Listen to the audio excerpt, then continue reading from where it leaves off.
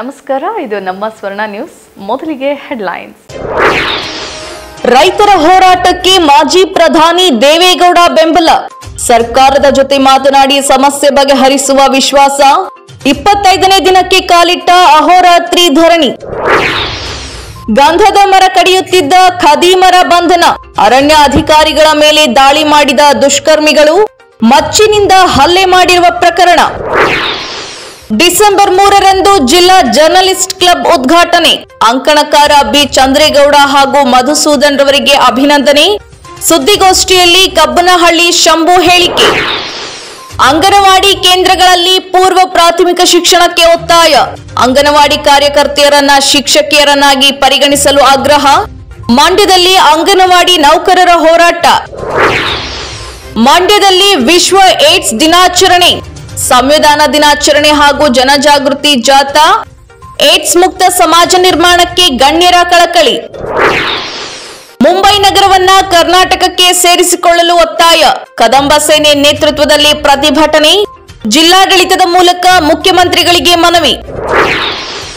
ಮಂಡ್ಯ ಜಿಲ್ಲೆಯಲ್ಲಿ ಚಿರತೆ ಆನೆಗಳ ಹಾವಳಿ ಹೆಚ್ಚಳ. ಮುಳ್ಳು ಹಂದಿಗಳ ಹಾವಳಿ ನಿಯಂತ್ರಣಕ್ಕೆ ಮನವಿ, ಕರ್ನಾಟಕ ರಕ್ಷಣಾ ವೇದಿಕೆ ಒತ್ತಾಯ.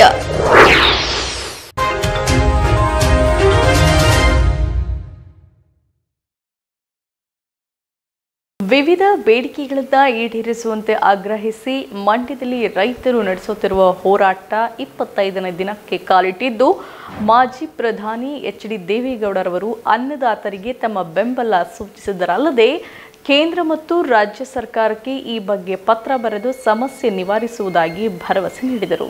ಕಬ್ಬಿನ ದರ ನಿಗದಿ, ಹಾಲಿಗೆ ಸೂಕ್ತ ದರ ಸೇರಿದಂತೆ ಅಗತ್ಯ ಬೇಡಿಕೆಗಳನ್ನ ಈಡೇರಿಸಬೇಕೆಂದು ಆಗ್ರಹಿಸಿ ನಿರಂತರವಾಗಿ ರೈತರು ನಡೆಸುತ್ತಿರುವ ಹೋರಾಟ ಇಪ್ಪತ್ತೈದನೇ ದಿನಕ್ಕೆ ಕಾಲಿಟ್ಟಿದ್ದು, ಮಾಜಿ ಪ್ರಧಾನಿ ಎಚ್ ಡಿ ದೇವೇಗೌಡರವರು ಅನ್ನದಾತರಿಗೆ ತಮ್ಮ ಬೆಂಬಲ ಸೂಚಿಸಿದರು. ನಗರದ ಸರ್ ಎಂ ವಿಶ್ವೇಶ್ವರಯ್ಯ ಪ್ರತಿಮೆ ಬಳಿ ಕಳೆದ ಇಪ್ಪತ್ತೈದು ದಿನಗಳಿಂದ ಧರಣಿ ನಡೆಸುತ್ತಿರುವ ರೈತರಿಗೆ ತಮ್ಮ ಬೆಂಬಲ ಸೂಚಿಸಿದ ದೇವೇಗೌಡರು ಕೇಂದ್ರ ಹಾಗೂ ರಾಜ್ಯ ಸರ್ಕಾರದ ವಿರುದ್ಧ ಆಕ್ರೋಶ ವ್ಯಕ್ತಪಡಿಸಿದರು. ಬೇಕು, ಜೊತೆಗೆ ನಿಮ್ಮ ಜೊತೆ ನಾನು ನಿರಂತರವಾಗಿ ಇರ್ತೇನೆ ಅಂತ ದೇವೇಗೌಡರು ಭರವಸೆ ನೀಡಿದರು. ಮೆಮೊರಂಡಮ್ ಅದರ ಎಲ್ಲ ಏನು ಬೇಡಿಕೆ ಇಟ್ಟಿದ್ರು ಅದನ್ನು ದಯಮಾಡಿ ನನಗೆ ಕೊಡಿ.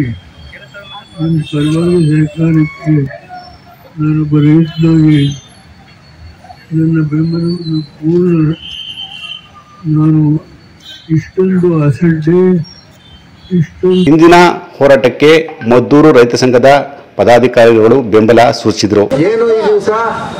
ಮಂಡ್ಯ ಜಿಲ್ಲಾ ರೈತ ಸಂಘದಿಂದ ನಡೀತಿರ್ತಕ್ಕಂಥ ಅಹೋರಾತ್ರಿ ಧರಣಿ ಇಪ್ಪತ್ತೈದನೇ ದಿವಸ ತುಂಬಿದೆ.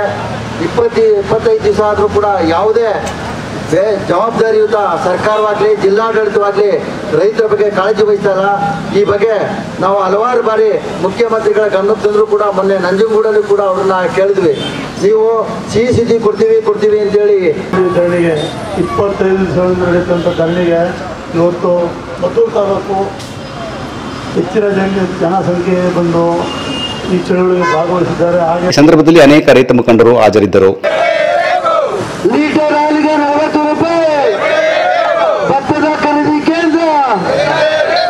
ನಾಗಮಂಗಲ ತಾಲೂಕಿನ ದೇವಲಾಪುರ ಹೋಬಳಿಯ ಎಚ್ಎನ್ ಕಾವಲ್ ಮೀಸಲು ಅರಣ್ಯ ಪ್ರದೇಶದಲ್ಲಿ ಗಂಧದ ಮರಗಳನ್ನು ಕಡಿಯುತ್ತಿದ್ದ ಹಾಸನ ಮೂಲದ ಮೂವರು ವ್ಯಕ್ತಿಗಳು ಪೊಲೀಸರ ವಶವಾಗಿದ್ದು ಖಚಿತ ಮಾಹಿತಿ ಮೇರೆಗೆ ನಾಗಮಂಗಲದ ಅರಣ್ಯ ಅಧಿಕಾರಿಗಳು ದಾಳಿ ಮಾಡಿದಾಗ ಅರಣ್ಯ ಅಧಿಕಾರಿಗಳ ಮೇಲೆ ಆರೋಪಿಗಳು ಮಚ್ಚಿನಿಂದ ಹಲ್ಲೆ ಮಾಡಿರುವ ಘಟನೆ ವರದಿಯಾಗಿದೆ. ದಾಳಿಯ ಸಂದರ್ಭದಲ್ಲಿ ಪೊಲೀಸರು ಗಾಳಿಯಲ್ಲಿ ಗುಂಡು ಹಾರಿಸಿದರೂ ಸಹ ದುಷ್ಕರ್ಮಿಗಳು ಹಲ್ಲೆ ನಡೆಸಿದ್ದಾರೆ. ನಂತರ ಮತ್ತೊಂದು ಸುತ್ತು ಗಾಳಿಯಲ್ಲಿ ಗುಂಡು ಹಾರಿಸಿದ್ದು ಈ ಸಂದರ್ಭ ಆರೋಪಿಯೋರ್ವನಿಗೆ ಗುಂಡಿನ ಚೂರುಗಳು ತಗುಲಿಕೊಂಡಿದ್ದಾವೆ. ಗೋವಿಂದಪ್ಪ ಗಾಯಗೊಂಡಿರುವ ಆರೋಪಿಯಾಗಿದ್ದು, ಇವನ ಮಕ್ಕಳಾದ ಶಂಕರ ಮತ್ತು ಕುಮಾರ್ ಎಂಬುವರನ್ನ ಅರಣ್ಯ ಅಧಿಕಾರಿಗಳು ವಶಕ್ಕೆ ಪಡೆದಿದ್ದಾರೆ.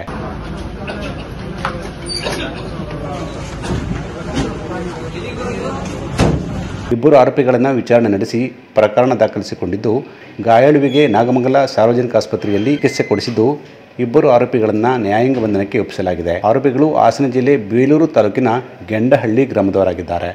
ಅರಣ್ಯ ಇಲಾಖೆ ಸಿಬ್ಬಂದಿ ಸಾಕಯ್ಯ ಎಂಬುವರಿಗೆ ಗಾಯಗಳಾಗಿದ್ದು ಆಸ್ಪತ್ರೆಯಲ್ಲಿ ಚಿಕಿತ್ಸೆ ಪಡೆಯುತ್ತಿದ್ದಾರೆ. ನೂತನವಾಗಿ ಅಸ್ತಿತ್ವಕ್ಕೆ ಬಂದಿರುವ ಮಂಡ್ಯ ಜಿಲ್ಲಾ ಜರ್ನಲಿಸ್ಟ್ನ ಉದ್ಘಾಟನಾ ಸಮಾರಂಭ ಹಾಗೂ ಹಿರಿಯ ಪತ್ರಕರ್ತರಿಗೆ ಅಭಿನಂದನಾ ಕಾರ್ಯಕ್ರಮ ಡಿಸೆಂಬರ್ ಮೂರರ ಶನಿವಾರ ಬೆಳಿಗ್ಗೆ ಹತ್ತು ಮೂವತ್ತಕ್ಕೆ ಕರ್ನಾಟಕ ಸಂಘದ ಕೆವಿ ಶಂಕರಗೌಡ ಶತಮಾನೋತ್ಸವ ಭವನದಲ್ಲಿ ನಡೆಯಲಿದೆ ಎಂದು ಕ್ಲಬ್ನ ಅಧ್ಯಕ್ಷರಾದ ಕಬ್ಬನಹಳ್ಳಿ ಶಂಭೂರವರು ತಿಳಿಸಿದರು.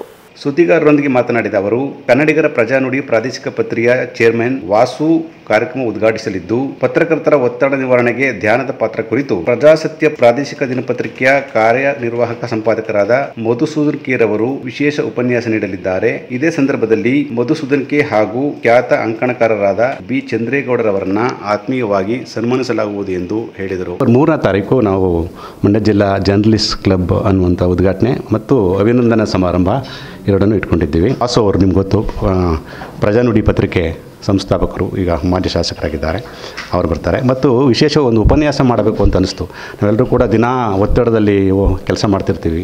ಒತ್ತಡದಲ್ಲೇ ಕೆಲಸ ಮಾಡ್ತಿರ್ತೀವಿ ಪ್ರತಿ ಹಂತದಲ್ಲಿ. ಸೊ ಅದಕ್ಕೊಂದು ರಿಲೀಫ್ ಬೇಕು ಅಂತಂದರೆ ಧ್ಯಾನ ಯಾವ ರೀತಿ, ಧ್ಯಾನ ಮಾಡ್ಕೊಂಡು ಕೂತ್ಕೊಂಡ್ರೆ ಪತ್ರಕರ್ತರಾಗದಲ್ಲೇ ಕೆಲಸ ಮಾಡಬೇಕು. ಕನಿಷ್ಠ ರಿಲೀಫ್ ಹೆಂಗೆ ಮಾಡ್ಕೋಬೇಕು, ಆ ಟೆನ್ಷನಿಂದ ಹೆಂಗೆ ಬರಬೇಕು ಅನ್ನೋದ್ರ ಬಗ್ಗೆ ಒಂದು ಒಂದು ಒಂದು ಟಾಪಿಕ್ ಒಂದು ಇಪ್ಪತ್ತು ನಿಮಿಷ ಮಾತಾಡಬೇಕು ಅಂತೇಳಿ ಮಧುಸೂದನ್ ಅವರು ಆಧ್ಯಾತ್ಮಿಕದ ಒಂದು ಶ್ರೀರಾಮಚಂದ್ರ ಮಿಷನ್ ಅಂತೇಳಿ ಇದು ಇಂಟರ್ನ್ಯಾಷನಲ್ ಅಂತಾರಾಷ್ಟ್ರೀಯ ಸಂಸ್ಥೆ ಅದು. ಸನ್ಮಾನಿತರನ್ನ ಮಂಡ್ಯ ಕ್ಷೇತ್ರದ ಶಾಸಕರಾದ ಎಂ ಶ್ರೀನಿವಾಸ್ ಅಭಿನಂದಿಸಲಿದ್ದು, ಪತ್ರಕರ್ತ ಸದಸ್ಯರಿಗೆ ಗುರುತಿನ ಕಾರ್ಡ್ಗಳನ್ನು ಮುನ್ಮೂಲ ಅಧ್ಯಕ್ಷರಾದ ಬಿ ಆರ್ ರಾಮಚಂದ್ರ ವಿತರಿಸಲಿದ್ದಾರೆ. ಇದೇ ಸಂದರ್ಭದಲ್ಲಿ ವಿಧಾನಸಭಾ ಚುನಾವಣೆಗೆ ಟಿಕೆಟ್ ಆಕಾಂಕ್ಷಿಗಳಾಗಿರುವ ಅಭ್ಯರ್ಥಿಗಳನ್ನ ಒಂದು ವೇದಿಕೆಗೆ ಕರೆಸಿ, ವೇದಿಕೆ ಕಲ್ಪಿಸಿಕೊಟ್ಟು ಅವರ ಆಶಯ ಮತ್ತು ಆಕಾಂಕ್ಷೆಗಳನ್ನು ಚರ್ಚೆ ಮತ್ತು ವಿಷಯಗಳ ಮೂಲಕ ಅನಾವರಣ ಮಾಡಲಾಗುವುದು ಅಂತ ತಿಳಿಸಿದರು. ಮತ್ತು ಅಭಿನಂದನಾ ಸಮಾರಂಭ ಎರಡನ್ನು ಇಟ್ಕೊಂಡಿದ್ದೀವಿ. ವಿಶೇಷವಾಗಿ ಇಬ್ಬರು ಹಿರಿಯ ಪತ್ರಕರ್ತರಿಗೆ ಸನ್ಮಾನ, ಅದನ್ನು ವಸ್ತೇನಲ್ಲ ಅದು ಮಾಡಬೇಕು ಅಂತ. ವಿಶೇಷವಾಗಿ ಬಿ ಚಂದ್ರೇಗೌಡರು ಅಂತ ತಾವು ಕೇಳಿರಬೇಕು. ಲಂಕೇಶ್ ಅವ್ರ ಕಾಲದಿಂದಲೂ ಕೂಡ ಅವರು ಬಯಲುಸೀಮೆ ಕಟ್ಟೆಪೂರ್ಣ ಅಂತ ಒಂದು ಕಾಲಂ ಬರ್ತಿತ್ತು, ತುಂಬ ಚೆನ್ನಾಗಿದೆ. ಸಭೆ ಚುನಾವಣೆ ಬಗ್ಗೆ ಒಂದು, ಈಗ ಚುನಾವಣಾಕಾಂಕ್ಷಿಗಳು ಕಾಂಗ್ರೆಸ್ನಲ್ಲಿ ಹದಿನಾರು ಜನ ಹಾಕೊಂಡಿದ್ದಾರೆ, ಇಪ್ಪತ್ತು ಜನ, ಎಲ್ಲರೂ ಹಾಕೊಂಡಿದ್ದಾರಲ್ಲ.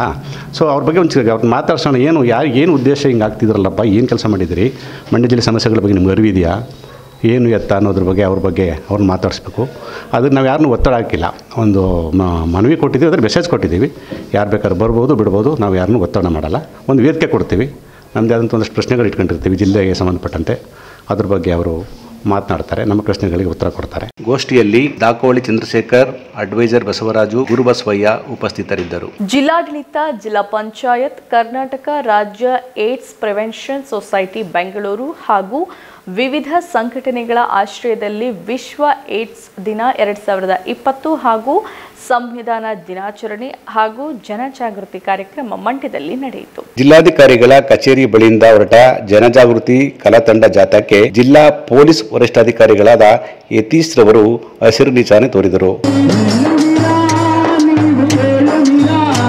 ನಂತರ ಜಾಥಾವು ನಗರದ ಪ್ರಮುಖ ಬೀದಿಗಳಲ್ಲಿ ತೆರಳಿ ನಾಗರಿಕರಲ್ಲಿ ವಿಶ್ವ ಏಡ್ ದಿನದ ಬಗ್ಗೆ ಜಾಗೃತಿ ಮೂಡಿಸಿತು. ಈ ಸಂದರ್ಭದಲ್ಲಿ ಮಾತನಾಡಿದ ಯತೀಶ್ ರವರು, ಏಡ್ಸ್ ಅಂತ್ಯಗೊಳಿಸಲು, ಅಸಮಾನತೆಯನ್ನು ಕೊನೆಗಾಣಿಸಲು, ಪ್ರತಿಯೊಬ್ಬರ ಆರೋಗ್ಯವನ್ನು ಕಾಪಾಡಲು ಮತ್ತು ಪ್ರತಿಯೊಬ್ಬರನ್ನ ಖುಷಿಯಾಗಲು ವಿಶ್ವ ಒಂದಾಗಬೇಕಾಗಿದೆ ಮತ್ತು ಏಡ್ಸ್ ರೋಗವನ್ನು ಶಾಶ್ವತವಾಗಿ ತೊಲಗಿಸಬೇಕಿದೆ ಅಂತ ತಿಳಿಸಿದರು. ದಿನಾಚರಣೆಯನ್ನು ಆಚರಣೆ ಮಾಡ್ತಾ ಈ ಒಂದು ದಿನಾಚರಣೆಯ ಮುಖ್ಯ ಉದ್ದೇಶ ಏನಂದ್ರೆ ಎರಡ್ ಸಾವಿರದ ಮೂವತ್ತನೇ ಇಸ್ವಿ ಒಳಗಡೆ ಭಾರತದಲ್ಲಿ ಏಡ್ಸನ್ನು ನಿವಾರಣೆ ಮಾಡಬೇಕು ಅನ್ನೋ ಒಂದು ಧ್ಯೇಯ ಭಾರತ ಸರ್ಕಾರ ಇಟ್ಕೊಂಡಿದೆ. ಆ ನಿಟ್ಟಿನಲ್ಲಿ ನಾವು ಮತ್ತು ಎಲ್ಲರೂ ನೀವೆಲ್ಲ ಜಾಗೃತಿ ಮೂಡಿಸ್ಬಿಟ್ಟು ಮತ್ತು ಏನೇನು ಕ್ರಮ ತಗೋಬೇಕು ಏಡ್ಸ್ ಬರದೇ ಇರೋ ರೀತಿಯಲ್ಲಿ, ಮತ್ತು ಬಂದಂಥ ಸಂದರ್ಭದಲ್ಲಿ ಯಾವ ರೀತಿ ಟ್ರೀಟ್ಮೆಂಟ್ಗಳು, ಸೌಲಭ್ಯಗಳು ನಮ್ಮ ಸರ್ಕಾರದಿಂದ ಮತ್ತು ಗೌರ್ಮೆಂಟ್ ಹಾಸ್ಪಿಟ್ಲ್ಗಳಲ್ಲಿ ಮತ್ತು ಬೇರೆ ಬೇರೆ ಹಾಸ್ಪಿಟ್ಲ್ಗಳಲ್ಲಿ ದೊರೆಯುತ್ತೆ, ಮತ್ತು ಏನು ಸವಲತ್ತುಗಳು, ಸೌಲಭ್ಯಗಳು ದೊರೆಯುತ್ತೆ ಅನ್ನೋ ರೀತಿಯಲ್ಲಿ ಒಂದು ಮಾಹಿತಿಯನ್ನು ವಿತರಿಸುವ ಒಂದು ಕಾರ್ಯಕ್ರಮ ಇದಾಗಿದ್ದು, ಈ ಮಾಹಿತಿ ವಿತರಣೆ ಕಾರ್ಯಕ್ರಮ ಸಾಕಷ್ಟು ಜನಕ್ಕೆ ತಮ್ಮ ಮಾಧ್ಯಮದ ಮೂಲಕ ತಲುಪಿ ಎಲ್ಲರೂ ಎಚ್ಚರಿಕೆ ಮತ್ತು ಜವಾಬ್ದಾರಿಯುತವಾದ ಒಂದು ಜೀವನ ನಡೆಸಬೇಕು ಅಂತ ನಾವೆಲ್ಲರಿಗೂ ಕೋರ್ಕೊತೀವಿ ಧನ್ಯವಾದಗಳು. ಡಿಎಚ್ಒ ಡಾಕ್ಟರ್ ಧನಂಜಯ್ ಮಾತನಾಡಿ, ಕಳೆದ ಹತ್ತಾರು ವರ್ಷಗಳಿಂದ ಪ್ರತಿ ವರ್ಷ ಡಿಸೆಂಬರ್ ಒಂದರಂದು ವಿಶ್ವದಾದ್ಯಂತ ವಿಶ್ವ ಏಡ್ಸ್ ದಿನವನ್ನು ಆಚರಿಸಿಕೊಂಡು ಬರಲಾಗುತ್ತಿದೆ. ಸೋಂಕಿತರಿಗೆ ಸಂಬಂಧಿಸಿದ ಮಾಹಿತಿ ತಿಳಿದವರು ಇತರರಿಗೆ ತಿಳಿಸುವ ಮೂಲಕ ಮಾನವಿಕಾರ ಮಾಡಬೇಕಂತ ಅವರು ಸಲಹೆ ನೀಡಿದರು. ನಾವು ಇದುವರೆಗೂ ಕಂಡಿಡಿಯಕ್ಕಾಗಿಲ್ಲ ಯಾಕಂದ್ರೆ ಇದು ವೈರಸ್ ಎಂದು ಬರುವಂತೆ. ಹೇಗೆ ಕೋವಿಡ್ಗೆ ನಾವು ಸಂಪೂರ್ಣ ವಾಸಿ ಮಾಡಲಿಕ್ಕೆ ಬರ್ತಾ ನಾವು ಒಂದು ಚಿಕಿತ್ಸೆನ ಮಾಡ್ತಾ ಇಲ್ಲ ಅದೇ ರೀತಿ ಏಡ್ಸನ್ನು ಸಹ ಇದು prevention is better than cure ಅಂತ ನಮ್ಮ ಮೇಡಮ್ ಹೇಳಿದ್ದಾರೆ. ಸೊ ಇದನ್ನು ತಡೆಗಟ್ಟಬಹುದು ಬಂದಂಥ ವ್ಯಕ್ತಿಗಳಿಗೆ ಸೂಕ್ತ ಚಿಕಿತ್ಸೆ ನೀಡಿ, ಅವರ ಜೀವಿತಾವಧಿನ ಜಾಸ್ತಿ ಮಾಡಿಕೊಂಡು ಸಂಪೂರ್ಣ ಕ್ಯೂರ್ ಮಾಡಲಿಕ್ಕಾಗಲ್ಲ. ಸೊ ಹಾಗಾಗಿ ನಾವು ಎಚ್ಚರಿಕೆಯಿಂದಿರಬೇಕು ಜಿಲ್ಲಾ ಏಡ್ಸ್ ಪ್ರತಿಬಂಧಕ ಮತ್ತು ನಿಯಂತ್ರಣ ಘಟಕದ ಜಿಲ್ಲಾ ಕಾರ್ಯಕ್ರಮಾಧಿಕಾರಿ ಡಾಕ್ಟರ್ ಆಶಾಲತಾ ಮಾತನಾಡಿ, ಮಂಡ್ಯ ಜಿಲ್ಲೆಯೂ ಸಹ ರಾಜ್ಯದ ಅತಿ ಹೆಚ್ಚು ಪ್ರಕರಣಗಳುಳ್ಳ ಜಿಲ್ಲೆಗಳ ಸಾಲಿನಲ್ಲಿದೆ. ದುರ್ದೈವವೆಂದರೆ ಮಕ್ಕಳು, ಮಹಿಳೆಯರು ಮತ್ತು ಇಪ್ಪತ್ತರಿಂದ ಮೂವತ್ತೈದರ ಯುವ ಜನಾಂಗ ಹೆಚ್ಚು ಸೋಂಕಿಗೆ ಬಲಿಯಾಗುತ್ತಿರುವುದು ವಿಷಾದನೀಯ ಸಂಗತಿ ಅಂತ ವಿಷಾದ ವ್ಯಕ್ತಪಡಿಸಿದರು. ಜನರಿಗೆ ಇದ್ರ ಬಗ್ಗೆ ಅರಿವೇನೇ ಇಲ್ಲ. According to C D C central for disease control almost eighty percent of infection ಏನಾಗುತ್ತೆ ಇದು ಇಪ್ಪತ್ತರಿಂದ ಇಪ್ಪತ್ತ್ ಮೂವತ್ತು ವರ್ಷದ ಆ, ಆ ಯುವಕರಿಗೆ ಆಗುತ್ತೆ ಹಿರಿಯ ಸಿವಿಲ್ ನ್ಯಾಯಾಧೀಶರಾದ ನಳಿನಿ ಕುಮಾರಿ ಮಾತನಾಡಿ, ಸಮಾಜದ ಆರೋಗ್ಯ ಕಾಪಾಡುವುದು ಪ್ರತಿಯೊಬ್ಬ ಪ್ರಜ್ಞಾವಂತರ ಆದ್ಯ ಕರ್ತವ್ಯವಾಗಿದೆ. ಈ ದಿಶೆಯಲ್ಲಿ ಸಮಾಜದ ಪ್ರತಿಯೊಬ್ಬ ಪ್ರಜೆಗೂ ಈ ಬಗ್ಗೆ ಅರಿವು ಮೂಡಿಸುವುದು ಇಂದಿನ ಅಗತ್ಯವಾಗಿದೆ ಅಂತ ತಿಳಿಸಿದರು.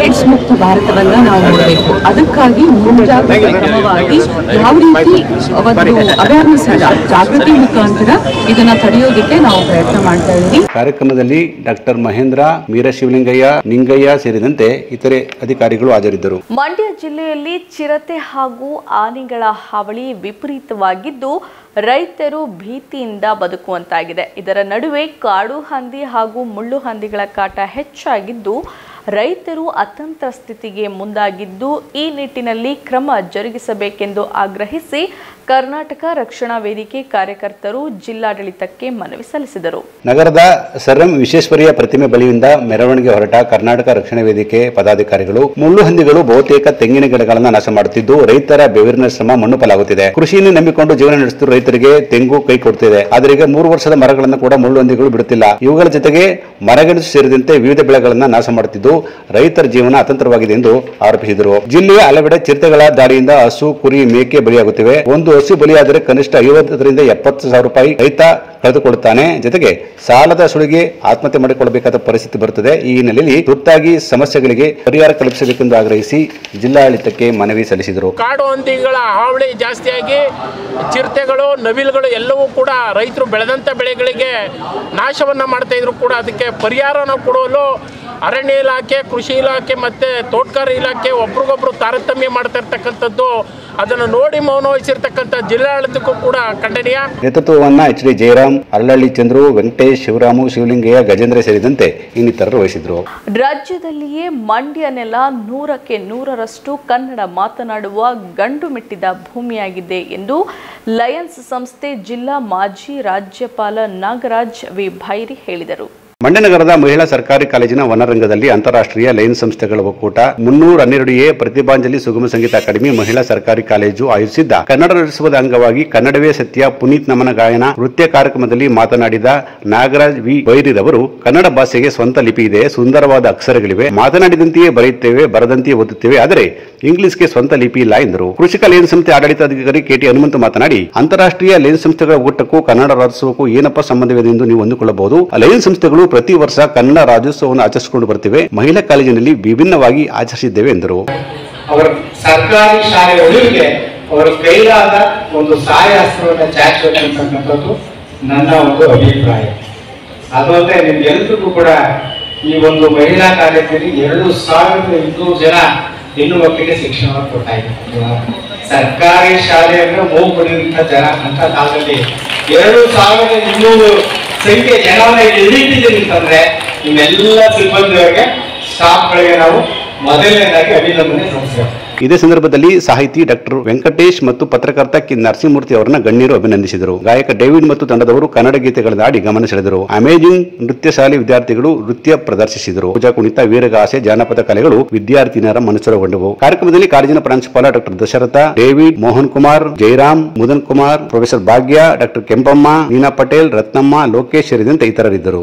ಪಾಂಡವಪುರ ತಾಲೂಕಿನ ಸಿಂಗಾಪುರ ಗ್ರಾಮದ ಸಚಿನ್ ರವರು ಕ್ಯಾರ್ಪೇಟೆ ತಾಲೂಕಿನ ರಾಜಘಟ್ಟ ಗ್ರಾಮದ ಸಮೀಪದಲ್ಲಿ ಕಳೆದ ಎರಡು ದಿನಗಳ ಹಿಂದೆ ಸಿಂಗಾಪುರ ಗ್ರಾಮದ ಸಚಿನ್ ಎಂಬ ಯುವಕ ಅಪಘಾತಕ್ಕೀಡಾಗಿ ಸಾವು ಬದುಕಿನ ನಡುವೆ ಹೋರಾಟ ನಡೆಸಿ ಕೊನೆಯುಸಿರೆಳೆದ ಸಚಿನ್ ಸಾವಿನಲ್ಲೂ ತಮ್ಮ ಸಾರ್ಥಕತೆಯನ್ನು ಮೆರೆದು ತನ್ನ ಅಂಗಾಂಗಗಳನ್ನು ದಾನ ಮಾಡುವ ಮೂಲಕ ಮತ್ತಷ್ಟು ಜೀವಗಳಿಗೆ ಆಸರೆಯಾಗಿದ್ದಾರೆ ಮೃತ ಸಚಿನ್ ಕುಟುಂಬದವರಿಗೆ ಭಗವಂತ ದುಃಖ ಭರಿಸುವ ಶಕ್ತಿ ನೀಡಲಿ. ಸಚಿನ್ ಆತ್ಮಕ್ಕೆ ಶಾಂತಿ ದೊರಕಲೆಂದು ಗಣ್ಯರು ಆಶಿಸಿದರು. ಈ ಸಂದರ್ಭದಲ್ಲಿ ಶಾಸಕ ಸಿ ಪುಟ್ಟರಾಜು, ಮನ್ಮೂಲ್ ನಿರ್ದೇಶಕ ಮಂಜು ಜಾನಕಿರಾಮ್ ಹೊಸವಳಲು ಅಶೋಕ್ ಅಂತೆಬಾಚಳ್ಳಿ ಹೋಬಳಿಯ ಜೆಡಿ ಅಧ್ಯಕ್ಷ ರವಿಕುಮಾರ್ ಸೇರಿದಂತೆ ಇತರರಿದ್ದರು. ಗ್ರಾಚ್ಯುಟಿ ಪಾವತಿಸಲು ಅಂಗನವಾಡಿ ಕೇಂದ್ರಗಳಲ್ಲಿಯೇ ಪೂರ್ವ ಪ್ರಾಥಮಿಕ ಶಿಕ್ಷಣಕ್ಕಾಗಿ ಒತ್ತಾಯಿಸಿ ಮತ್ತು ಅಂಗನವಾಡಿ ಕಾರ್ಯಕರ್ತೆಯರನ್ನ ಶಿಕ್ಷಕಿಯರನ್ನಾಗಿ ಪರಿಗಣಿಸಲು ಒತ್ತಾಯಿಸಿ ಕರ್ನಾಟಕ ರಾಜ್ಯ ಅಂಗನವಾಡಿ ನೌಕರರ ಸಂಘದ ನೇತೃತ್ವದಲ್ಲಿ ಮಂಡ್ಯದಲ್ಲಿ ಪ್ರತಿಭಟನೆ ನಡೆಸಿ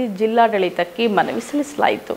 ಮಂಡ್ಯದ ಸರ್ ಎಂ ವಿಶ್ವೇಶ್ವರಯ್ಯ ಪ್ರತಿಮೆ ಬಳಿಯಿಂದ ಮೆರವಣಿಗೆ ಹೊರಟ ಅಂಗನವಾಡಿ ನೌಕರರ ಸಂಘದ ಪದಾಧಿಕಾರಿಗಳು ಏಪ್ರಿಲ್ ಇಪ್ಪತ್ತೈದು, ಎರಡ್ ಸಾವಿರದ ಇಪ್ಪತ್ತೆರಡರಂದು ಸುಪ್ರೀಂ ಕೋರ್ಟ್ ಸಾವಿರದ ಒಂಬೈನೂರ ಎಪ್ಪತ್ತೆರಡರ ಗ್ರಾಚ್ಯುಟಿ ಕಾಯ್ದೆ ಪ್ರಕಾರ ಅಂಗನವಾಡಿ ನೌಕರರು ಗ್ರಾಚ್ಯುಟಿ ಪಡೆಯಲು ಅರ್ಹರು ಎಂಬ ಐತಿಹಾಸಿಕ ತೀರ್ಪು ನೀಡಿದೆ. ಇದರ ಪ್ರಕಾರ ರಾಜ್ಯಾದ್ಯಂತ ಸಾವಿರಾರು ನಿವೃತ್ತಿ ನೌಕರರು, ಸಿಡಿಪಿಒ, ಡಿಡಿ ನಿರ್ದೇಶಕರು ಮತ್ತು ಪ್ರಧಾನ ಕಾರ್ಯದರ್ಶಿಗಳಿಗೆ ಅರ್ಜಿಯನ್ನ ಸ್ವತಃ ಹಾಗೂ ಅಂಚೆ ಮುಖಾಂತರ ಸಲ್ಲಿಸಿದ್ದಾರೆ ಅಂತ ತಿಳಿಸಿದರು. ಆದರೆ ಕೆಲವೆಡೆ ಸಿಡಿಪಿಒ, ಡಿಡಿ ನಿರ್ದೇಶಕರು ಮತ್ತು ಪ್ರಧಾನ ಕಾರ್ಯದರ್ಶಿಗಳು ಅರ್ಜಿಗಳನ್ನು ತೆಗೆದುಕೊಳ್ಳದೆ ಕೆಲವೆಡೆ ನಿರಾಕರಣೆ ಮಾಡಿದ್ದಾರೆ ಮಾತ್ರವಲ್ಲ ಹಲವಾರು ನೌಕರರಿಗೆ ನೇಮಕಾತಿ ನಿವೃತ್ತಿ ಆದೇಶಗಳನ್ನು ನೀಡಿಲ್ಲ ಅಂತ ದೂರಿದರು.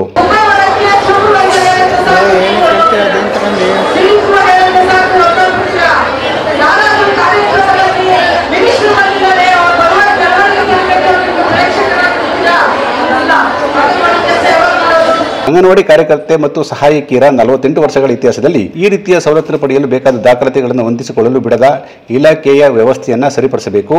ಗ್ರಾಚ್ಯುಟಿಗೆ ಸಲ್ಲಿಸಿರುವ ಅರ್ಜಿದಾರರಿಗೆ ಕೂಡಲೇ ಪರಿಹಾರ ನೀಡಲು ರಾಜ್ಯ ಸಚಿವ ಸಂಪುಟ ಆದೇಶ ಮಾಡಬೇಕಂತ ಆಗ್ರಹಿಸಿದರು.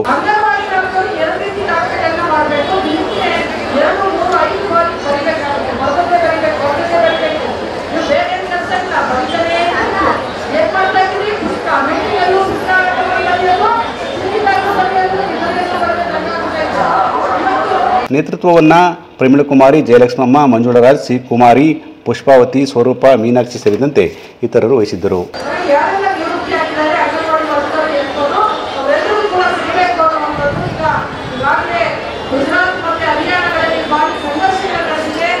ಮಂಡ್ಯ ನಗರದ ಲಕ್ಷ್ಮೀ ಜನಾರ್ದನ ಬಾಲಕಿಯರ ಪ್ರೌಢಶಾಲೆ ಆವರಣದಲ್ಲಿ ಶ್ರೀ ಲಕ್ಷ್ಮೀ ಜನಾರ್ದನ ಶಿಕ್ಷಣ ಸಂಸ್ಥೆಯಿಂದ ಬುಧವಾರ ಆಯೋಜಿಸಿದ್ದ ಜಿಲ್ಲಾ ಮಟ್ಟದ ಪ್ರೌಢಶಾಲಾ ವಿಭಾಗದ ಶ್ರೀ ಪುರಂದರದಾಸರ ದೇವರನಾಮ ಸ್ಪರ್ಧೆ ಹಾಗೂ ವಾಗ್ಗೇಯಕಾರ ಪ್ರಬಂಧ ಸ್ಪರ್ಧೆಯ ಕಾರ್ಯಕ್ರಮವು ನಡೆಯಿತು. ಹಿರಿಯ ಪತ್ರಕರ್ತ ಡಿಎನ್ ಶ್ರೀಪಾದು ಕಾರ್ಯಕ್ರಮ ಉದ್ಘಾಟಿಸಿದರು. ನಂತರ ಮಾತನಾಡಿದವರು, ಪುರಂದರದಾಸರು ಶ್ರೀಕೃಷ್ಣ ದೇವರನಿಗೆ ಸಾಲವನ್ನು ನೀಡುತ್ತಿದ್ದರು. ಅವರ ಪೂರ್ವಾಶ್ರಮದಲ್ಲಿ ತುಂಬಾ ಜಿಪುಣರಾಗಿದ್ದರು ಅಂತವರು ಎಲ್ಲ ಸಕಲ ಐಶ್ವರ್ಯವನ್ನು ಬಿಟ್ಟು ದೇವರ ಸೇವೆಯಲ್ಲಿ ಜೀವನ ಕಳೆಯುತ್ತಾರೆ. ಅವರ ಜೀವಿತಾವಧಿಯಲ್ಲಿ ಒಟ್ಟು ನಾಲ್ಕು ಲಕ್ಷದ ಎಪ್ಪತ್ತೈದು ಸಾವಿರ ದೇವರ ಕೀರ್ತನೆಗಳನ್ನ ರಚಿಸಿದ್ದಾರೆ ಎಂದರು.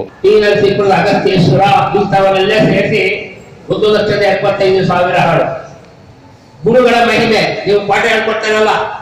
ಈ ಗುರುಗಳನ್ನ ಅವ್ರ ಗುರುಗಳನ್ನು ಕೊಂಡಾಡಿದ್ರು, ಐದು ಸಾವಿರ ಹಾಡುಗಳು ದೇವ, ದೇವಲೋಕದ ವರ್ಣನೆ, ದೇವಲೋಕ, ದೇವರಿದ್ದಾನೆ ಅಂತೀವಲ್ಲ ಅದಕ್ಕೆ ತೊಂಬತ್ತು ಸಾವಿರ ಹಾಡುಗಳು ಆಮೇಲೆ ಪುರಾಣ ಕಥೆಗಳು. ಅದ್ರ ಬಗ್ಗೆ ತೊಂಬತ್ತು ಸಾವಿರ ಹಾಡು. ಧ್ಯಾನ ಮಾಡ್ಬೇಕು ನಾವು. ಅದ್ರ ಬಗ್ಗೆ ಅರವತ್ತು ಸಾವಿರ. ಉಪವಾಸ. ಸಮಾರಂಭದಲ್ಲಿ ನಂದಿನಿ, ಮುರಳಿ, ಎಸ್. ರಮ, ಲಕ್ಷ್ಮೀ, ನಾಗರಾಜ, ಮುಖ್ಯ ಶಿಕ್ಷಕಿ ಧನಲಕ್ಷ್ಮಿ, ಲತಾ, ಡಾಕ್ಟರ್ ಪದ್ಮ ಶ್ರೀನಿವಾಸ್, ರೇಖಾ, ವಸಂತ ಹಾಜರಿದ್ದರು. ಮಂಡ್ಯ ನಗರದ ಕಾವೇರಿ ನಗರ ಶ್ರೀ ಜಗಜ್ಯೋತಿ ಬಸವೇಶ್ವರ ವೃತ್ತದಲ್ಲಿ ಶ್ರೀ ಜಗಜ್ಯೋತಿ ಬಸವೇಶ್ವರ ಆಟೋ ನಿಲ್ದಾಣ ಮತ್ತು ಮಂಡ್ಯ ಜಿಲ್ಲಾ ರಾಷ್ಟ್ರೀಯ ಬಸವದಳ ಮತ್ತು ಕಾವೇರಿ ನಗರ ಹೌಸಿಂಗ್ ಬೋರ್ಡ್ ನಿವಾಸಿಗಳ ಸಂಯುಕ್ತ ಆಶ್ರಯದಲ್ಲಿ ಅರವತ್ತೇಳನೇ ಕನ್ನಡ ರಾಜ್ಯೋತ್ಸವ ಕಾರ್ಯಕ್ರಮವನ್ನು ಆಚರಿಸಲಾಯಿತು. ಕಾರ್ಯಕ್ರಮದಲ್ಲಿ ಕನ್ನಡಾಂಬೆ ಹಾಗೂ ಜಗಜ್ಯೋತಿ ಬಸವಣ್ಣನವರ ಭಾವಚಿತ್ರಕ್ಕೆ ಗಣ್ಯರು ಪುಷ್ಪಾರ್ಚನೆ ಮಾಡಿದರು. ರಾಷ್ಟ್ರೀಯ ಬಸವದಳದ ಅಧ್ಯಕ್ಷ ವಕೀಲ ಗುರುಪ್ರಸಾದ್ ಮಾತನಾಡಿ ಪ್ರತಿ ವರ್ಷದಂತೆ ಜಗಜ್ಯೋತಿ ಬಸವೇಶ್ವರ ವೃತ್ತದಲ್ಲಿ ಅರವತ್ತೇಳನೇ ಕನ್ನಡ ರಾಜ್ಯೋತ್ಸವವನ್ನು ಆಚರಣೆ ಮಾಡುತ್ತಿದ್ದು ಕನ್ನಡ ರಾಜ್ಯೋತ್ಸವ ನಿತ್ಯೋತ್ಸವವಾಗಬೇಕು ಅಂತ ತಿಳಿಸಿದರು. ಅರವತ್ತೇಳನೇ ಕನ್ನಡ ರಾಜ್ಯೋತ್ಸವವನ್ನು ನಮ್ಮ ಜಗಜ್ಯೋತಿ ಬಸವೇಶ್ವರ ಆಟೋ ನಿಲ್ದಾಣ ಹಾಗೂ ಮಂಡ್ಯ ಜಿಲ್ಲಾ ರಾಷ್ಟ್ರೀಯ ಬಸವದೋಳ ಹಾಗೂ ಈ ಸಂಘಟನೆಗಳ ವತಿಯಿಂದ ಆಯೋಜನೆ ಮಾಡಿರ್ತಕ್ಕಂಥದ್ದು. ಜಿಲ್ಲಾ ಕನ್ನಡ ಸಾಹಿತ್ಯ ಪರಿಷತ್ ಅಧ್ಯಕ್ಷರಾದ ಚಾಮಲಪುರ ರವಿಕುಮಾರ್ ಮಾತನಾಡಿ ನವೆಂಬರ್ ಒಂದರಿಂದ ನಿರಂತರವಾಗಿ ನಾವು ಹಲವಾರು ಭಾಗಗಳಲ್ಲಿ ಕನ್ನಡ ರಾಜ್ಯೋತ್ಸವ ಕಾರ್ಯಕ್ರಮಗಳನ್ನು ಆಚರಿಸುವ ಮುಖಾಂತರ ಸಾಹಿತ್ಯ ಪರಿಷತ್ತಿಂದ ಜಾಗೃತಿ ಮೂಡಿಸುವ ಕೆಲಸವನ್ನು ಮಾಡುತ್ತಿದ್ದೇವೆ ಅಂತ ತಿಳಿಸಿದರು. ಅರ್ಚಕರಾಗ್ಬೋದು ಇಲ್ಲಿ ಸಾಕಷ್ಟು ಜನ ಇದ್ದಾರೆ. ನಮ್ಮ ಸಂಕ್ರಮ ಆಗ್ಬೋದು. ಹಾಗೆ ನಮ್ಮ ಬೋರೇಗೌಡರು ಇಲ್ಲಿರ್ತಕ್ಕಂಥ ಸಾಕಷ್ಟು ಮುಖಂಡರುಗಳ ಸಹಕಾರದೊಂದಿಗೆ ಆಟೋ ಚಾಲಕರು ನಿರಂತರವಾಗಿ ಮಾಡ್ಕೊ ಬರ್ತಾ ಇದ್ದಾರೆ. ಮಾಜಿ ಪಿಎಲ್ಡಿ ಬ್ಯಾಂಕ್ ಅಧ್ಯಕ್ಷರು ಹಾಗೂ ಹಾಲಿ ಸದಸ್ಯರಾದ ಶ್ರೀ ಶಿವಲಿಂಗೇಗೌಡ ಮಾತನಾಡಿ ಎಲ್ಲರಿಗೂ ಕನ್ನಡ ರಾಜ್ಯೋತ್ಸವ ಶುಭಾಶಯ ತಿಳಿಸಿದರು. ಬಿಜೆಪಿ ಮುಖಂಡ ಅರವಿಂದ್ ಮಾತನಾಡಿ ಕನ್ನಡ ಭಾಷೆಗೆ ಸರ್ಕಾರಗಳು ಹೆಚ್ಚು ಹೆಚ್ಚು ಒತ್ತು ನೀಡಬೇಕು. ಕನ್ನಡ ಭಾಷೆಯನ್ನ ಗ್ರಾಮೀಣ ಮತ್ತು ನಗರ ಪ್ರದೇಶದ ವಿದ್ಯಾರ್ಥಿಗಳ ಜೊತೆ ಹೆಚ್ಚು ಹೆಚ್ಚು ಬಳಸುವ ಮುಖಾಂತರ ಕನ್ನಡ ಭಾಷೆಗೆ ಒತ್ತು ನೀಡಬೇಕು ಅಂತ ಮನವಿ ಮಾಡಿದರು. ಸಮಾಜದಲ್ಲಿ ಯಾವ ಸಂಘಟನೆಗಳನ್ನ ಮೀರಿದ ರೀತಿಯಲ್ಲಿ ಆಟೋ ಚಾಲಕ ಪ್ರತಿ ವಾರ್ಡ್ಗಳಲ್ಲಿ ಮೂವತ್ತೈದು ವಾರ್ಡ್ ಇರ್ಬೋದು ಮೂವತ್ತೈದು ವಾರ್ಡ್ ಮಂಡ್ಯದಲ್ಲಿ ಕೂಡ ಆ, ಪ್ರತಿ ವಾರ್ಡಲ್ಲೂ ಕೂಡ ಕನ್ನಡ ರಾಜ್ಯೋತ್ಸವ ಆಚರಿಸಿದ್ದಾರೆ ಅಂತಂದ್ರೆ ಇದೇ ಸಂದರ್ಭದಲ್ಲಿ ಹಿರಿಯ ಚಿತ್ರನಟ ಅಶ್ವಥ್ ಅವರ ಮೊಮ್ಮಗ ಚಿತ್ರನಟ ಮಂಡ್ಯ ಸತ್ಯ ಮತ್ತು ತಂಡದವರಿಂದ ವಿವಿಧ ಹಾಸ್ಯ ಕಾರ್ಯಕ್ರಮ ಜರುಗಿತು.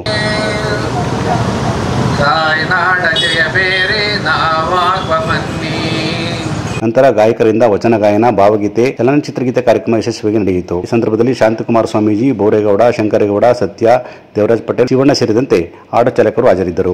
ಮಹಾರಾಷ್ಟ್ರ, ಅಚ್ಚ ಕನ್ನಡ ಪ್ರದೇಶಗಳಾದ ಸೊಲ್ಲಾಪುರ, ಅಕ್ಕಲಕೋಟೆ, ಜತ್ತ, ಸಾಂಗ್ಲಿ ಪಂಢರಾಪುರ ಉಸ್ಮಾನಾಬಾದ್, ಎಲ್ಲೋರ, ಅಜಂತ ಅರ್ಧ ಭಾಗ ಮುಂಬೈ ನಗರವನ್ನ ಕರ್ನಾಟಕಕ್ಕೆ ಸೇರಿಸಿಕೊಳ್ಳಬೇಕೆಂದು ಆಗ್ರಹಿಸಿ ಕದಂಬ ಸೇನೆ ನೇತೃತ್ವದಲ್ಲಿ ಮಂಡ್ಯದಲ್ಲಿ ಪ್ರತಿಭಟನೆ ನಡೆಸಿ ಮುಖ್ಯಮಂತ್ರಿಗಳಿಗೆ ಮನವಿ ಸಲ್ಲಿಸಲಾಯಿತು. ನಗರದ ಪ್ರಮುಖ ಬೀದಿಗಳಲ್ಲಿ ಮೆರವಣಿಗೆ ನಡೆಸಿದ ಕದಂಬ ಸೇನೆ ಕಾರ್ಯಕರ್ತರು ಮಹಾರಾಷ್ಟ್ರ ಮುಖ್ಯಮಂತ್ರಿ ಬೆಳಗಾವಿ, ಕಾರವಾರ, ನಿಪ್ಪಾಣಿ ಮತ್ತಿತರ ಅಚ್ಚ ಕನ್ನಡ ಪ್ರದೇಶಗಳನ್ನು ಮಹಾರಾಷ್ಟ್ರಕ್ಕೆ ಸೇರಿಸಬೇಕೆಂದು ಸರ್ವೋಚ್ಚ ನ್ಯಾಯಾಲಯಕ್ಕೆ ಅರ್ಜಿ ಸಲ್ಲಿಸಿದ್ದಾರೆ. ಮುಖ್ಯಮಂತ್ರಿ ಆದ ಮೇಲೆ ಉಪಮುಖ್ಯಮಂತ್ರಿ ಗಡಿ ವಿವಾದದ ಕಿಚ್ಚು ಹಚ್ಚುತ್ತಿದ್ದಾರೆ.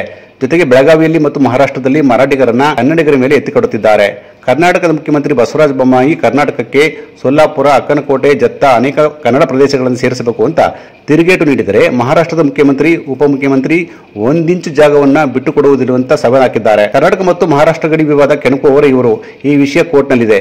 ಮಾತುಕತೆ ಮೂಲಕ ಬಗೆಹರಿಸಿಕೊಳ್ಳಲು ಮಹಾರಾಷ್ಟ್ರ ಸರ್ಕಾರ ಸಿದ್ಧ ಎಂದು ಒಂದು ಕಡೆ ಹೇಳುತ್ತಾರೆ ಇಬ್ಬರದು ಇಬ್ಬಗೆ ನೀತಿಯಾಗಿದೆ. ವಿಕೃತ ಮನಸ್ಥಿತಿಯುಳ್ಳವರು ಪದೇ ಪದೇ ಗಡಿ ವಿವಾದ ಕೆಚ್ಚು ಹಚ್ಚುವುದು ಸರಿಯಲ್ಲ ಅಂತ ಕದಂಬ ಸೈನ್ಯ ಆರೋಪಿಸಿತು. ಕನ್ನಡ ಕುಲಬಾಂಧವರೇ,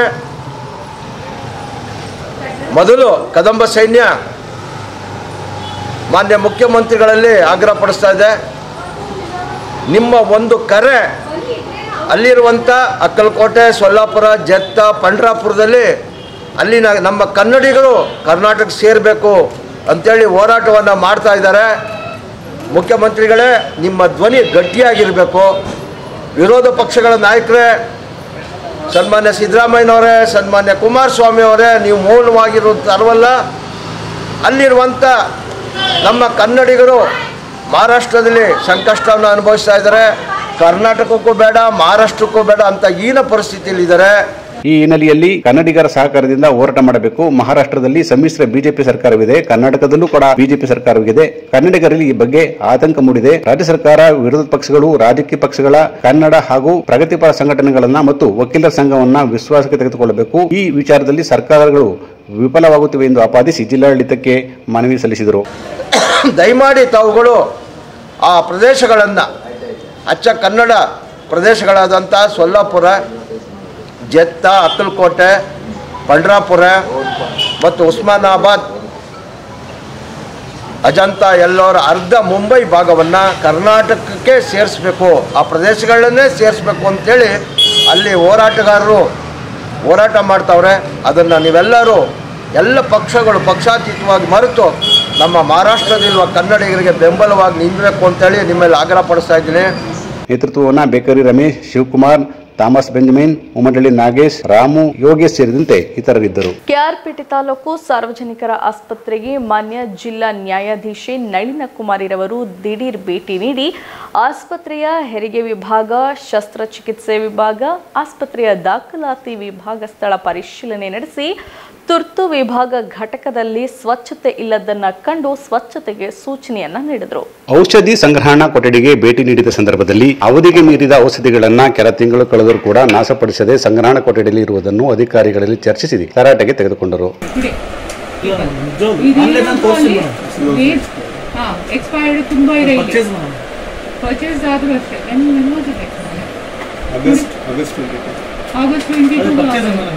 ಈ ಸಂದರ್ಭದಲ್ಲಿ ನ್ಯಾಯಾಧೀಶರಾದ ಓಂಕಾರ ಮೂರ್ತಿ, ಸಮೀರ್, ಪಿ. ನಂದಿಯಾಲ, ಆಸ್ಪತ್ರೆ ಆಡಳಿತಾಧಿಕಾರಿ ಡಾಕ್ಟರ್ ಶಿವಕುಮಾರ್, ತಾಲೂಕು ವೈದ್ಯಾಧಿಕಾರಿ ಡಾಕ್ಟರ್ ಮಧುಸೂದನ್ ಸೇರಿದಂತೆ ಇತರರಿದ್ದರು.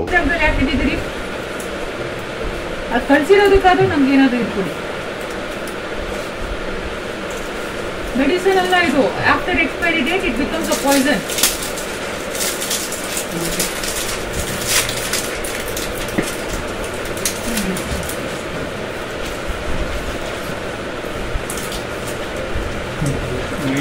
K R Pete ತಾಲೂಕಿನ ಕೊರಟಗೆರೆ ಗ್ರಾಮದ ಪ್ರೌಢಶಾಲೆ ಆವರಣದಲ್ಲಿ ಶ್ರೀ ವಿನಾಯಕ ಗೆಳೆಯರ ಬಳಗ, ಬಸವೇಶ್ವರ ಯುವಕರ ಬಳಗ, ಶ್ರೀ ಚೌಡೇಶ್ವರಿ ಯುವಕರ ಬಳಗ ಹಾಗೂ ಮಹಿಳಾ ಸ್ವಯಂ ಸಹಾಯಕ ಬಳಗದ ಆಶ್ರಯದಲ್ಲಿ ಅರವತ್ತೇಳನೇ ಕನ್ನಡ ರಾಜ್ಯೋತ್ಸವದ ಪ್ರಯುಕ್ತ ವಿವಿಧ ಸಾಂಸ್ಕೃತಿಕ ಕಾರ್ಯಕ್ರಮ ಹಾಗೂ ರಸಮಂಜರಿ ಕಾರ್ಯಕ್ರಮಗಳು ನಡೆದವು. ಕಾರ್ಯಕ್ರಮ ಉದ್ಘಾಟಿಸಿ ಮಾತನಾಡಿದ ಜಿಲ್ಲಾ ಹಾಲು ಒಕ್ಕೂಟದ ನಿರ್ದೇಶಕ ಮಂಜು ಕನ್ನಡ ಭಾಷೆಗೆ ಸುಮಾರು ಎರಡು ಸಾವಿರ ವರ್ಷಗಳ ಇತಿಹಾಸವಿದೆ. ಕರುನಾಡು ಕನ್ನಡ ನಾಡು ಕನ್ನಡಮೇ ನಾಡು ಎಂಬೆಲ್ಲ ಹೆಸರಾಗಿದೆ. ಹಚ್ಚ ಹಸಿರಿನ ಸಾಧು ಸಂತರು ಬಾಳಿದ ನಾಡು ಇದು ಎಂದು ಹೇಳಿದರು. ಆಡಳಿತದಲ್ಲೇ ಒಂದು ಲಿಪಿಯನ್ನು ಒಂದು ಶಾಸ್ತ್ರದಲ್ಲಿ ಕಂಡುಬರುತ್ತದೆ ಜೊತೆಗೆ ಕರ್ನಾಟಕದ ಕಾವೇರಿಯಿಂದ ಗೋದಾವರಿವರೆಗೂ ಸಹ ನಮ್ಮ ಗಂಗರು ರಾಷ್ಟ್ರಕೂಟರು ಇವರೆಲ್ಲರೂ ಸಹ ಆಡಳಿತ ಭಾಷೆಯಾಗಿ ರೂಪಿಸ್ಕೊಂಡಿದ್ದು ನಮ್ಗೆಲ್ರಿಗೂ ಸಹ ಇತಿಹಾಸದಲ್ಲಿ ಓದ್ತಾ ಇದ್ವಿ. ಹಾಗೇನೆ ವಿಜಯನಗರ ಸಾಮ್ರಾಜ್ಯದ ಅರಸರು ನಮ್ಮ ದಕ್ಷಿಣ ಭಾರತದಲ್ಲಿ ಆಡಳಿತ ಭಾಷೆಯಾಗಿ ಕನ್ನಡನ ಅವರು ಅವರು ಸಹ ರೂಪಿಸ್ಕೊಂಡಿದ್ರು. ಹಾಗೇನೆ ಕನ್ನಡ ಒಂದು ಶ್ರೀಮಂತ ಭಾಷೆ. ನಮ್ಗೆ ನಿಮ್ಗೆಲ್ಲ ಗೊತ್ತಿರೋ ಹಾಗೆ ಕನ್ನಡದಲ್ಲಿ ಬಹುತೇಕ ಎಂಟು ಜನರು ಜ್ಞಾನಪೀಠ ಪ್ರಶಸ್ತಿ ಪಡೆದಂತ ಕವಿಗಳಿದ್ದಾರೆ. ಹಾಗೇನೆ ನಮ್ಮ ಮಾಜಿ ಶಾಸಕ ಕೆಬಿ ಚಂದ್ರಶೇಖರ್ ಮಾತನಾಡಿ ನವೆಂಬರ್ ಒಂದನೇ ತಾರೀಕಿನಿಂದ ರಾಜ್ಯದಲ್ಲಿ ಪ್ರತಿ ಮನೆ ಮನೆಗಳಲ್ಲೂ ಸಹ ಹಬ್ಬವನ್ನ ಕನ್ನಡ ಹಬ್ಬವನ್ನು ಆಚರಿಸಬೇಕು ಅಂತ ಹೇಳಿದರು. ಅಂತೇಳಿ ಹಠ ಮಾಡಿ ನಮ್ಮಲ್ಲಿ ಇರ್ತಕ್ಕಂಥ ಮರಾಠಿಗರನ್ನ ಎತ್ಕಟ್ಟಿರ್ತಕ್ಕಂಥದ್ದು ನಿಮ್ಮೆಲ್ಲರಿಗೂ ಗೊತ್ತಿರುವಂತ ವಿಚಾರ. ರಾಜಕೀಯಕ್ಕೋಸ್ಕರ ಇಂಥ ಕೀಳು ಮಟ್ಟದ ರಾಜಕೀಯ ಮಾಡ್ತಾರೆ ಅಂತೇಳಿ ನಾವು ಯಾರು ಭಾವಿಸ್ಕೊಂಡಿರ್ಲಿಲ್ಲ. ಯಾರೋ ಕೂತಾರೆ ಹುಡುಗರು ಹುಡುಗರು ರಾಜಕೀಯಕ್ಕೋಸ್ಕರ ತೀಟೆ ಮಾಡ್ತಾರೆ ಅಂತೇಳಿ ನಾವು ಭಾವಿಸ್ಕೊಂಡಿದ್ದು. ಬಿಡದಲ್ಲಿ ಪಂಚಬುತ್ತೇಶ್ವರ ಮಠದ ಪೀಠಾಧ್ಯಕ್ಷ ರುದ್ರಮುನಿ ಸ್ವಾಮೀಜಿ ಆಶೀರ್ವಚನ ನೀಡಿದರು. ಕನ್ನಡ ಯಾರು ಉಳಿಸ್ಬೇಕಾಗಿಲ್ಲ. ಕನ್ನಡ ಬಳಸಿದ್ರೆ ಸಾಕು. ಅದು ಕನ್ನಡ ಉಳಿಯುತ್ತೆ.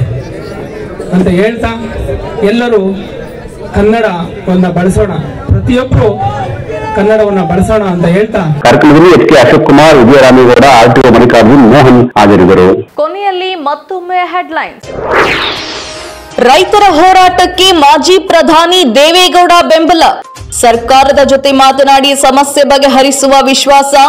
ಇಪ್ಪತ್ತೈದನೇ ದಿನಕ್ಕೆ ಕಾಲಿಟ್ಟ ಅಹೋರಾತ್ರಿ ಧರಣಿ. ಗಂಧದ ಮರ ಕಡಿಯುತ್ತಿದ್ದ ಖದೀಮರ ಬಂಧನ.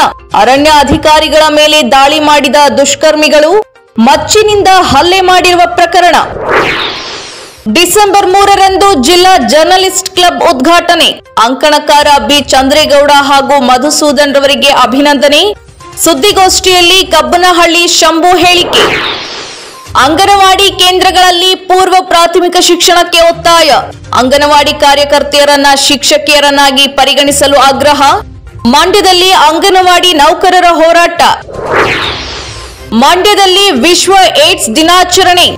ಸಂವಿಧಾನ ದಿನಾಚರಣೆ ಹಾಗೂ ಜನಜಾಗೃತಿ ಜಾಥಾ. ಏಡ್ಸ್ ಮುಕ್ತ ಸಮಾಜ ನಿರ್ಮಾಣಕ್ಕೆ ಗಣ್ಯರ ಕಳಕಳಿ. ಮುಂಬೈ ನಗರವನ್ನ ಕರ್ನಾಟಕಕ್ಕೆ ಸೇರಿಸಿಕೊಳ್ಳಲು ಒತ್ತಾಯ. ಕದಂಬ ಸೇನೆ ನೇತೃತ್ವದಲ್ಲಿ ಪ್ರತಿಭಟನೆ. ಜಿಲ್ಲಾಡಳಿತದ ಮೂಲಕ ಮುಖ್ಯಮಂತ್ರಿಗಳಿಗೆ ಮನವಿ. ಮಂಡ್ಯ ಜಿಲ್ಲೆಯಲ್ಲಿ ಚಿರತೆ ಆನೆಗಳ ಹಾವಳಿ ಹೆಚ್ಚಳ. ಮುಳ್ಳು ಹಂದಿಗಳ ಹಾವಳಿ ನಿಯಂತ್ರಣಕ್ಕೆ ಮನವಿ. ಕರ್ನಾಟಕ ರಕ್ಷಣಾ ವೇದಿಕೆ ಒತ್ತಾಯ.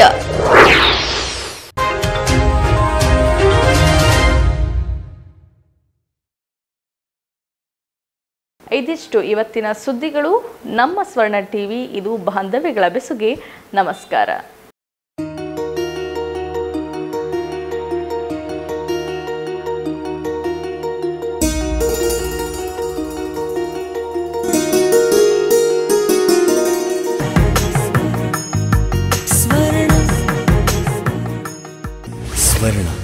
ಇದು ಬಾಂಧವ್ಯಗಳ ಬೆಸುಗೆ.